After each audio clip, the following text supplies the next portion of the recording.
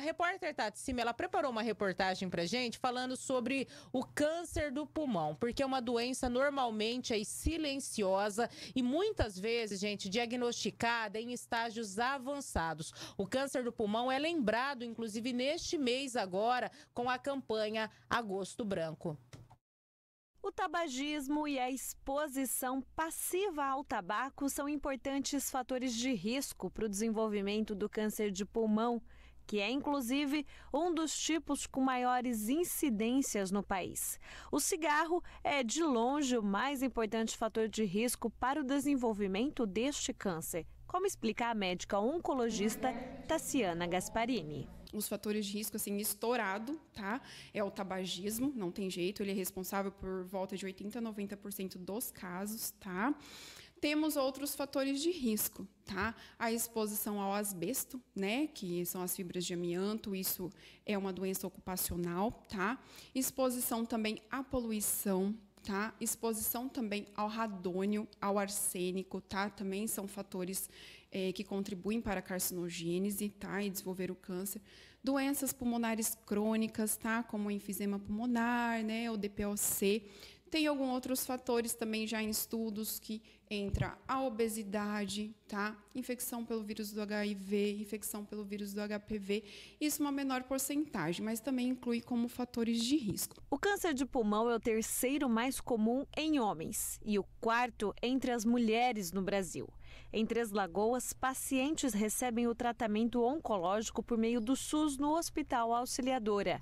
Segundo dados da própria instituição, foram 49 pacientes atendidos com a doença no ano passado e outros 35 de janeiro a julho deste ano. Eu percebo assim, desde a época da pandemia, quando tudo começou, acho que por a pandemia é, ser a, os sintomas respiratórios, tá, aumentou muito o número de casos, porque o paciente acaba entrando no hospital com queixas de sintoma respiratório e durante o achado dos exames acaba encontrando também um câncer, tá? Então, esse período eu já notei que a gente começou a fazer mais diagnósticos de câncer de pulmão. Praticamente toda semana é, é solicitado uma avaliação, tá? Com um nódulo pulmonar, uma massa pulmonar.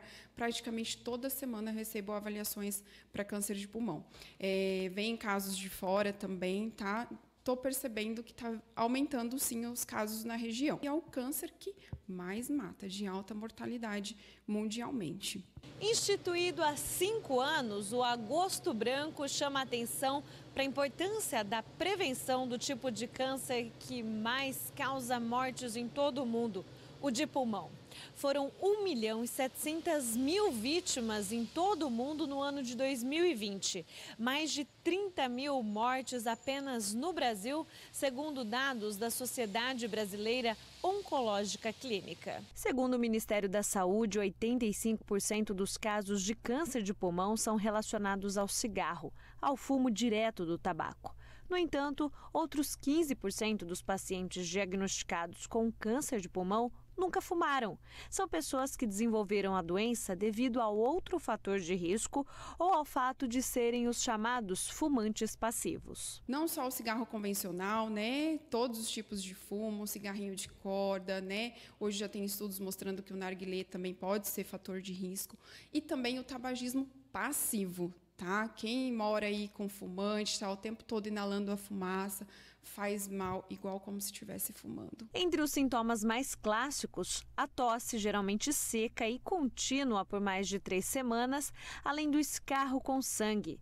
Também destacam a dor contínua no peito, rouquidão, inchaço no pescoço ou na face falta de ar em atividades cotidianas, como durante um banho ou até mesmo em repouso, além da perda repentina de peso e de apetite. O câncer de pulmão é lembrado neste mês com a campanha Agosto Branco, que visa combater o tabagismo e promover a prevenção à doença.